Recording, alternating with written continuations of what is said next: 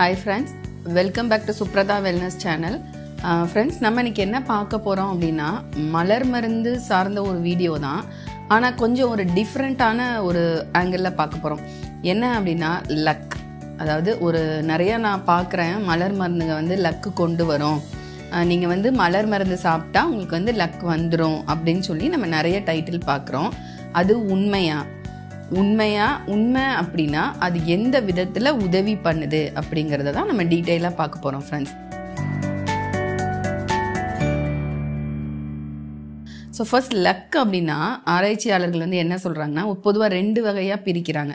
ஒன்று வந்து நம்மளால் மாற்ற முடியாத சில லக் வந்து இருக்குது அது என்னன்னா இப்போ நீங்கள் எங்கே பிறக்கணும்?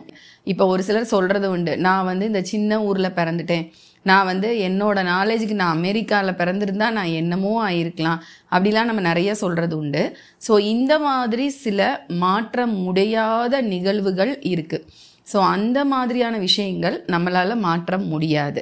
ஆனால் அதுக்கப்புறமா டெய்லி லைஃப்பில் நம்ம மீட் நம்ம தினம் தினம் பார்க்குற இன்சிடென்ட்ஸில் நிறைய பேர் புலம்புறத நம்ம கேட்டிருப்போம். எனக்கு வந்து லக்கு கிடைக்காது.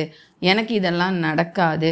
அப்படிங்கிறது எல்லாமே வந்து நம்ம கேட்டிருக்கோம். ஆராய்ச்சியாளர்கள் என்ன சொல்கிறாங்க அப்படின்னா லக்குன்னு ஃபீல் பண்ணுறவங்க தான் வந்து ஒரு லக்கி பீப்புள் நான் வந்து ஒரு லக்கி பர்சன் அப்படின்னு ஃபீல் பண்ணுறவங்க நல்லா கவனிச்சுக்கோங்க.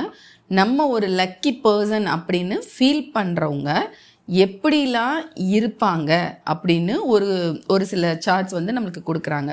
ஸோ தன்னை வந்து லக்கி அப்படின்னு நினைக்கிற ஒரு பீப்புள் எப்பயுமே வந்து ஒரு ஆப்பர்ச்சுனிட்டிஸை தேடி ஓடிக்கிட்டே இருப்பாங்க. அதாவது எனக்கு இன்னும் இதில் என்ன ஆப்பர்ச்சுனிட்டிஸ் இருக்கும் நான் இன்னும் சில நான் வழிமுறைகள் நான் பார்க்கணும் இதில் ஏதாவது ஒன்று இருக்கும் நான் வந்து வின் பண்ணுறதுக்கு அப்படிங்கிற ஒரு ஆப்பர்ச்சுனிட்டியை வந்து லக்கின்னு நம்மளை யாரை ஃபீல் பண்ணுறோமோ அவங்க வந்து தேடிட்டே இருப்பாங்க.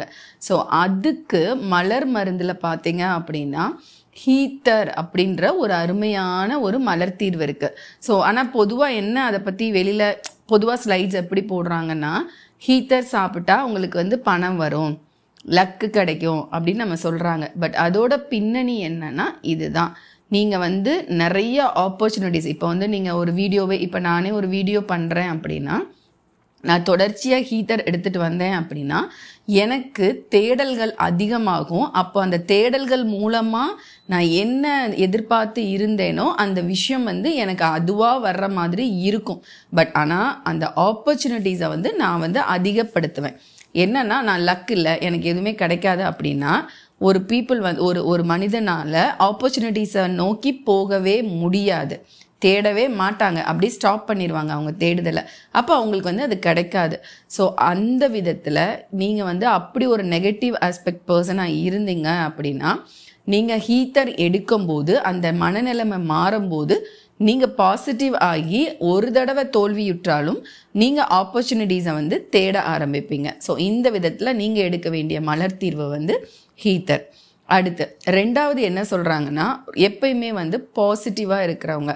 அதாவது நெகட்டிவான இன்சிடென்ட்ல கூட அதை ஒரு பாசிட்டிவாக பார்க்குறவங்க. இப்போ ஒருத்தர் வந்துட்டு பைக்கில் போயிட்டே இருக்காங்க. ஒரு பாலத்து மேலே போகிறாங்க ஸோ ஒரு ஏஜ் கிராஸ் ஒரு ஒரு லெவல் கிராஸ் பண்ணுறாங்க பண்ண உடனே அந்த பாலம் வந்து அவங்களுக்கு பின்னாடி அவங்க அப்போ தான் கீழே இறங்குறாங்க பாலம் வந்து பின்னாடி உடையுது. அப்போது இதை ரெண்டு விதமாக பேசுகிறவங்கள நம்ம பார்த்துருக்கோம். ஒன்று என்னென்னா எப்பா எனக்கு எப்பயுமே இப்படி தான் நடக்கும். நான் போனாலே இப்படி தான் உடையும். நான் போனாலே இப்படி தான் ஆயிடும் அப்படின்னு பேசுகிறது ஒரு குரூப் இருப்பாங்க. இன்னொரு குரூப் என்ன சொல்லுவாங்க? அப்போ நான் எனக்கு லக்கு இருக்கிறதுனால நான் இங்கிட்டு வந்த உடனே தான் அந்த பாலம் உடஞ்சிருக்கு பார்த்தியா பேசும்போது அதுக்கப்புறம் எதாவது பேசலாம். பட் ஆன் ஸ்பாட்டில் பேசுகிறவங்கள பார்த்துட்டிங்கன்னா எப்பயுமே பாசிட்டிவாக இருக்கிறவங்க இப்படி தான் பேசுவாங்க. அதே மாதிரி செட்பேக் ஆகாமல் இப்போ இந்த நேரத்தில் ஒரு ஸ்ட்ரெஸ் ஆகிடுச்சு ஸோ ஓகே எனக்கு பஸ்ஸே வரல. எனக்கு எப்பயுமே லக்கே கிடையாது. பஸ்ஸே வரல அப்படின்னு நம்ம உட்காந்தோன்னா அடுத்த வழிமுறைகளையோ எதையுமே நம்மளால் தேட முடியாது. ஏன்னா நம்ம வந்து ஸ்ட்ரெஸ் ஆகிட்டோம் ஸ்ட்ரெஸ் ஆனாலே ஆட்டோமேட்டிக்காக ஃபியர் ஆகிடும் நம்மளுக்கு வந்து சொல்யூஷனே கிடைக்காது. ஸோ அந்த மாதிரி அந்தந்த நேரத்தில் செட்பேக் ஆகாமல் பாசிட்டிவ் திங்கிங்கோடு இருந்தோம்னா அந்த செயலை முடிச்சிருவோம். அப்போ அது என்னன்னா லக் ஸோ நம்ம வந்து அதை அடைஞ்சிட முடியும். ஸோ எனக்கு எப்பயுமே இது வந்து கிடச்சிரும் அப்படிங்கிற ஒரு கோல்க்கு ஒரு இடத்துக்கு வந்து நம்ம போயிடுவோம் இல்லையா?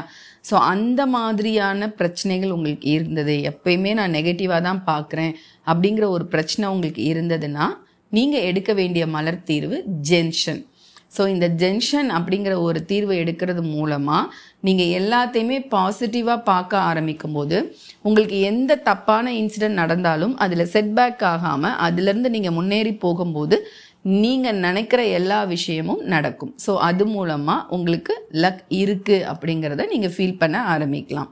அடுத்து இன்னொரு முக்கியமான பாயிண்ட் என்ன சொல்கிறாங்க அப்படின்னா லக்குன்னு தன் தன்னை வந்து லக்கி பீப்புள் அப்படின்னு நினைக்கிறவங்க எப்பயுமே அவங்களுடைய இன்டியூஷனை வந்து நம்புவாங்களாம். அதாவது மனசில் இப்போ அவங்க வந்து ஒன்று திங்க் பண்ணுவாங்க. நம்ம திங்க் பண்ணுற ஒரு விஷயம் கரெக்டு அப்படிங்கிறதுல ஃபிக்ஸ்டாக இருப்பாங்களாம். யாரெல்லாம் வந்து லக்கியாக ஃபீல் பண்ணுற எப்பயுமே பாசிட்டிவாக நான் லக்கின்னு நினைக்கிறாங்களோ அவங்களுக்கு அவங்களுடைய எண்ணங்கள் மீது நம்பிக்கை இருக்குமா யாருக்கு அப்படி இல்லையோ அவங்க தான் எப்போயுமே நான் செய்கிறது கரெக்டாக தப்பா? நான் என்ன சூஸ் பண்ணணும்? நான் இது சூஸ் பண்ணேன் ஆனால் இதுக்கு பதிலாக நான் அதை சூஸ் பண்ணியிருக்கலாமோ அப்படிங்கிற ஒரு எப்பயுமே அப்படி ஒரு கன்ஃபியூஷன்லேயே ஒரு ஆசிலேஷன்ல இருப்பாங்க. அவங்க எப்பவும் அப்ரிஷியேஷன் நம்ம செய்கிறது தப்பான்னு நினைக்கிறதுனால ரொம்ப அப்ரிஷியேஷனை வந்து நாடிட்டே இருப்பாங்க. ஸோ அப்ரிஷியேஷன் இல்லை அப்படின்னா டம்ப் ஆகி உட்காந்துருவாங்க ஸோ இந்த மாதிரி மனநிலைமைக்கு நம்மளோட மலர் தீர்வில் செரட்டோ அப்படிங்கிற ஒரு அருமையான மலர் தீர்வு இருக்குது ஃப்ரெண்ட்ஸ் ஸோ பொதுவாக ஆராய்ச்சியாளர்கள் சொல்கிற கான்செப்ட் வந்து இந்த மூணு தான். ஒன்று அவங்க வந்து எப்பயுமே செட்பேக் ஆகாமல் இருக்கணும். இன்னொன்று வந்துட்டு அவங்க தான் லக் இல்லைன்னு நினச்சிட்டாங்கனாலே அவங்களால அதை வந்து அச்சீவ் பண்ண முடியாது. அதுக்குரிய வழிகள் ஆப்பர்ச்சுனிட்டிஸை தேட முடியாது. அடுத்து இன்னொன்று பார்த்தீங்கன்னா தன்னோட முடிவு எப்பயுமே கரெக்டாக இருக்கும் அப்படின்னு எடுத்துட்டு ஒரு ஐசோலேஷன் இல்லாமல் இருப்பாங்க. ஸோ இந்த மூணு மலர் தீர்வு நான் சொல்லியிருக்கேன். ஸோ இதில் நீங்கள் உங்களை எப்படி நினைக்கிறீங்களோ அந் உங்ககிட்ட என்ன பிரச்சனை இருக்கோ அதுக்கேற்ற மலர் தீர்வு மட்டும் நீங்கள் எடுத்துக்கிட்டிங்கன்னா எல்லா ஹோமியோபதி ஷாப்லேயுமே கிடைக்கும். பீல்ஸ் ஃபார்மில் வாங்கிட்டு ஒரு நாளைக்கு மூணு வேளை நாலு நாலு பீல்ஸ் வந்து எடுத்துக்கோங்க. ஒரு சிலர் வந்து இதுவே போதுமானது தான் பட் ஒரு சிலர் என்ன தெரியுமா பண்ணுவாங்க? எப்பயுமே அவங்களுக்கு வந்து நிறையா கூட அமௌண்ட் வந்திருக்கலாம். பேங்க்ல சில அக்கௌண்ட்ஸ் திடீர்னு வந்து கிரெடிட் ஆயிருக்கலாம். அதாவது ஏதோ ஒரு பிஸ்னஸ்லேருந்து அவங்களுக்கு வந்திருக்கலாம். அவங்க என்ன பண்ணுவாங்க அப்படின்னு பார்த்தீங்கன்னா எனக்கா? எனக்கெல்லாம் இப்படி வர்றதுக்கு சான்ஸே கிடையாது. எனக்கு இந்த மாதிரிலாம் லைஃப்பில் எப்பயுமே நடக்காதே. அதெல்லாம் சான்ஸே இல்லை அப்படின்னு அது வந்ததுக்கு அப்புறம் கூட அவங்க அப்படி தான் பேசுவாங்க. அவங்க கிட்ட என்ன இருக்கும்? அதை இதை நாங்கள் மலர் தீர்வில் எப்படி பார்க்குறோன்னா மலைப்பு. அவங்களுக்கு வந்து எல்லாத்துலேயுமே மலைப்பு தான் இருக்கும். ஆனால் நல்ல கெப்பாசிட்டி இருக்கும். பட் ஆனால் இந்த மாதிரி வேலைகள் செய்கிறதுக்கும் மலைப்பு இருக்கும். ஆனால் இந்த மாதிரி ஒரு ஒரு அவங்களுக்கா ஒரு ரூபாயே கூட கிடைச்சாலும் எனக்கெல்லாம் வர்றதுக்கு சான்ஸே கிடையாது அப்படிம்பாங்க. ஆட்டோமேட்டிக்காக பார்த்தீங்கன்னா அடுத்த நாள் யாராவது கால் பண்ணி உங்களுக்கு நாங்கள் தப்பாக போட்டுட்டோங்க. இது வந்து இதுக்கு தான் அப்படின்னு சொல்கிற ஒரு சூழ்நிலை வந்து உருவாக ஆரம்பிச்சிடும் ஸோ அந்த மாதிரி யாருமே மலைக்காதீங்க. அப்படி ஒரு வேளை இந்த மூணு மொதல் சொன்ன காம்பினேஷன் தவிர உங்ககிட்ட இந்த மாதிரி ஒரு மலைப்பு இருந்தால் அதுக்கு நீங்கள் ஹார்ன் பீம் அப்படிங்கிற ஒரு மலர் தீர்வு வந்து எடுக்கணும். அதுக்கப்புறம் ஒரு சிலர் என்ன பண்ணுவாங்க தெரியுமா? எனக்கு கிடைக்காதுன்னு மலைக்கிறது ஹார்ன்பீம் டைப்பு ஆனால் இன்னொரு சிலர் என்ன பண்ணுவாங்க தெரியுமா? எனக்கு கிடைக்காதுன்றதோட சேர்த்து எனக்கெல்லாம் எப்பயும் கிடைக்காது அந்த அவனுக்கு தான் எப்பயுமே எல்லாமே லக்கு தான். அவனை பார்த்தாலே அவனுக்கு லக்கு தேடி வரும் போல் எனக்கு கிடைக்காது. அப்படின்னு ஒரு கம்பேர் பண்ணி சொல்லுவாங்க. இவங்களுக்கு என்னன்னா அவங்களுக்கு வந்து அவங்க மேலேயே ஒரு தாழ்வு மனப்பான்மை கான்ஃபிடென்ட் இல்லைன்னு அர்த்தம். ஸோ அதுக்குரிய மலர் தீர்வு பார்த்தீங்கன்னா லார்ஜ் ஸோ இதுதான் ஃப்ரெண்ட்ஸ் நான் மொதல் சொன்ன மூணே அது எடுக்கும் போதே உங்களால் நல்லா நீங்கள் லக்கியாக ஃபீல் பண்ணுவீங்க. எல்லாமே நல்லா நடக்கும்.